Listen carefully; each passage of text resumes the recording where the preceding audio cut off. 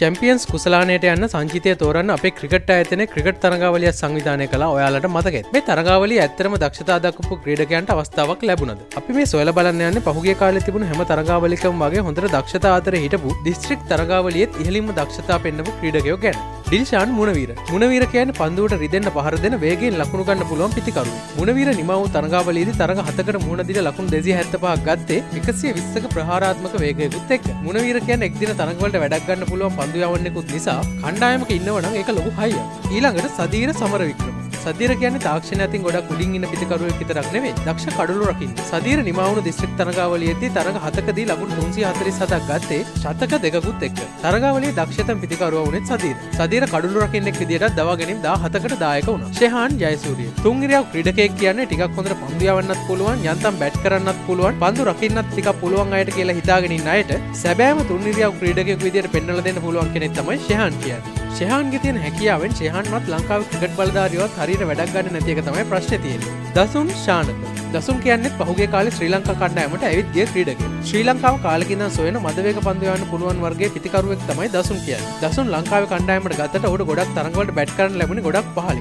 ඉතින් මේ විදියට අවස්ථාව දීලා ක්‍රීඩකයෝ කපල දාන එක නම් හරිම වැරදි. විශාල පහරවල් වගේම පන්දුව ස්ථානගත කරලත් වේගෙන් ලකුණු පූර්ව ක්‍රියාත්මක කරන්න පුළුවන් දසුන් වගේ පිතිකරුවෙක් කණ්ඩායමකට ඉන්නවා නම් ඒක ලොකු හයියක්. සචිත්‍ර සේනානායක. සචිත්‍ර නම් කාලයක් ප්‍රධාන දඟ පන්දු යවන්න වෙලා ලංකාව නියෝජනය කලානේ. මේ කතා කරන්න යන්නේ සචිත්‍ර කියන පන්දු යවන්න ගැන නෙවෙයි. සචිත්‍ර දැන් වෙනස් වෙලා. වෙනස් වෙලා තියෙන්නේ තුන් ඉරියව් ක්‍රීඩකයෙක් විදියට. ලංකාවේ තිබුණු පළමු පෙළ තරගාවලිකදී ශතකයක් එහෙම අරගෙන වැඩ අල්ලපු සචිත්‍ර තමන්ට ලැබෙන අවස්ථාවල පිතිකරුවෙක් විදියටත් හොඳ දක්ෂතා පෙන්වන්න සමත් වුණා. සචිත්‍ර නැවතත් කණ්ඩායමේ අවස්ථාවක් හිමි වෙන්න ආසන්නම අවස්ථාවක තමයි ඔහු ඉන්නේ. ඊළඟට අසිත ප්‍රනාන්දු. ශ්‍රී ලංකාවට අනාගතයට ඉන්න හොඳ සම්පතක් තමයි අසිත කියන්නේ. පසුගිය 19න් පහළ ලෝක කුසලානේදී අසිත් ප්‍රධාන වේග පන්දු යවන්න වෙද්දී අසිත්ගේ සහායක පන්දු යවන්නු ලහිර කුමාරට ශ්‍රී ලංකා කණ්ඩායමේ ක්‍රීඩා කරන්නට අවස්ථාව ලැබුණට අසිත්‍ර තව මේ අවස්ථාව ලැබුණේ නැහැ. මෙයාගේ පන්දු යවන ඉරියව්ව ටිකක් ධම්මික ප්‍රසාද්ගේ වගේ. ඒ වගේම තමයි වේගය. පන්දුව හොඳින් දෝලනය කරන්නත් පුළුවන්. සීමිත පන්දුවාර තරඟවල අවසන් පන්දුවාර යවන්නත් පුළුවන් විදිහේ විවිධත්වයක් අසිත්‍ර තියෙනවා. අසිත් මේ දක්ෂතා ඉක්මනටම ජාත්‍යන්තර තරඟවලදී දකින්න පුළුවන් මේ කියලා තමයි අපි හිතන්නේ.